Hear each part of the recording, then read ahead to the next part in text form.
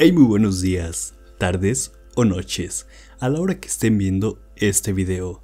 ¿Qué tal? ¿Cómo están? ¿Cómo les va en su aburrida o divertida vida? En el día de hoy vengo con un nuevo video para este canal y en el día de hoy nos encontramos con este genial título el cual en mi opinión es bastante genial. En el día de hoy vengo con este juegardo que te va a gustar. Obviamente estoy hablando, como ya vieron en el título, de un juego llamado Kesho. A ver, vamos a dejar esto en claro. Este puede ser o no ser un juego del agrado de muchas personas, ya que sí, yo sé que puede ser aburrido en muchas partes, pero sin duda alguna es un juego que si te gusta el género disfrutarás de este juego.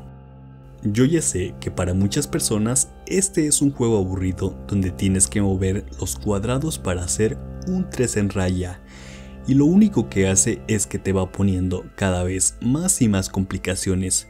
Pero en lo personal a mí me gustó mucho por una u otra razón. Es difícil de explicar, pero me gustó, así que no voy a darle una crítica mala, ya que este juego dependerá más que nada de tu opinión al momento de probarlo, porque como dije, a mí me gustó mucho. En Kesho Tomaremos el papel de un cubo robótico y mientras avanzamos en este mundo nos irá narrando la historia del mismo. Así iremos conociendo a otras criaturas como un ciervo o un colibrí. Nuestro pequeño amigo robótico no tiene voz, pero tiene explosiones de emojis las cuales lo ayudan a expresar su estado de ánimo. En el camino hay algunas líneas de texto que intentan explicar la historia, aunque para mi gusto no debería ser así y deberían de dejarlo a la interpretación de cada persona. El robot es lindo, considerando que es solo un cubo con un ojo. Esos bits de la historia ayudan a llevar el juego, también se vincula con rompecabezas, ya que la historia se divide en 11 niveles, cada uno es separado por una puerta. Algo que me gustó y lo que más llamó mi atención son las animaciones brillantes y coloridas que son un arte visual para los ojos. Es incluso difícil hacerle justicia con palabras. Cada nueva puerta que abras, el cubo se inundará de explosiones de luz y color. Algo que deberán tener en cuenta es que este juego tiene una calidad de imagen alta, así que el dispositivo puede llegar a calentarse si lo tienen en los gráficos altos, y esto afectará en su batería haciendo que baje muy rápido. Me sorprendió que nunca se quedara trabado ni diera tirones en mi móvil, a pesar de que ya está algo desactualizado. Y para acompañar las impresionantes imágenes, hay una banda sonora super fría con 11 canciones diferentes. Honestamente puedo decir que no hubo un momento en el que no estuviera disfrutando de la música. Está claro que el juego fue hecho con mucho amor y que cada aspecto de este fue cuidado hasta el último detalle. Ahora hablemos de los rompecabezas.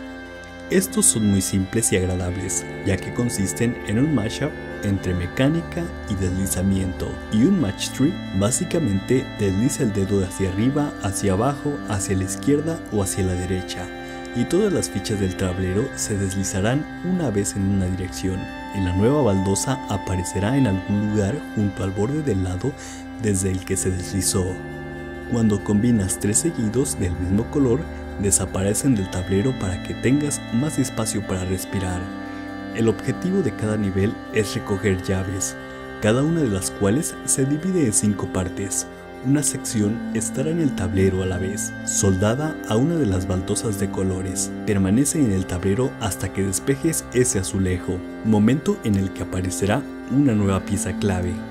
Cada nivel introduce un nuevo tipo de baldosas, como las que solo pueden deslizarse hacia arriba y hacia abajo, las que están pegadas en su lugar o las que tienen paredes que solo se pueden despejar si están dentro de un campo de fuerza. Estas nuevas mecánicas mantienen el juego interesante de principio a fin.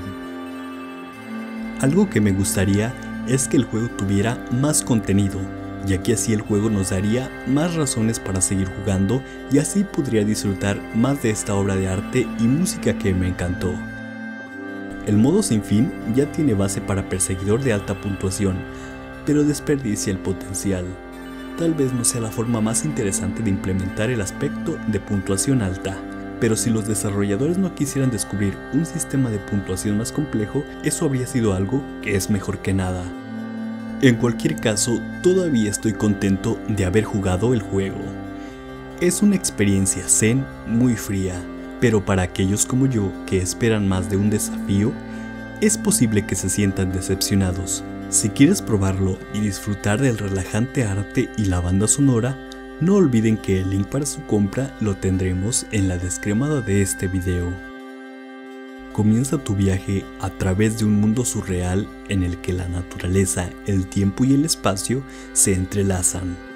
Cosas misteriosas ocurren en un cuarto de una ruina. Las puertas en el interior de este cuarto conducen a mundos diferentes y panoramas maravillosos. Junta los bloques y supera desafíos en este adictivo rompecabezas con grandes efectos visuales que desarrollan la historia a través de lugares sobreacogedores, entre ellos junglas exuberantes y mares tormentosos.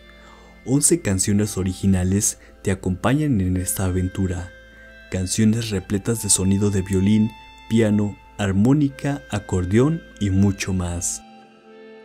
Ahora bien, así concluiría el video de esta noche.